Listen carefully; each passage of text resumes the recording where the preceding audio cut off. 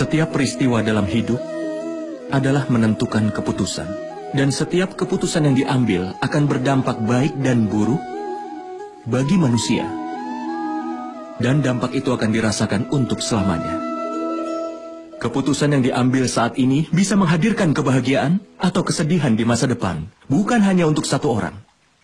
Tapi untuk sebuah keluarga dan masa depan generasi setelah itu. Saat seseorang berhadapan dengan sebuah dilema, hati pun jadi terganggu, lalu dipenuhi dengan kebimbangan. Saat untuk membuat keputusan pun menjadi sebuah pertempuran, dan hati pun jadi medan tempur. Kita banyak mengambil keputusan bukan untuk mencari sebuah solusi, tetapi untuk menenangkan hati seseorang. Tetapi, adakah yang bisa makan sambil berlari?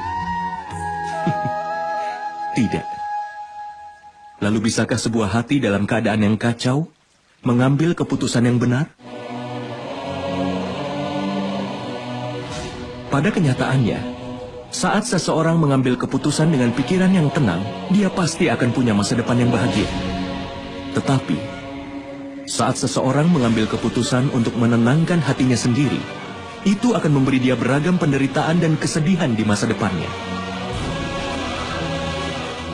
Pikirkanlah hal itu.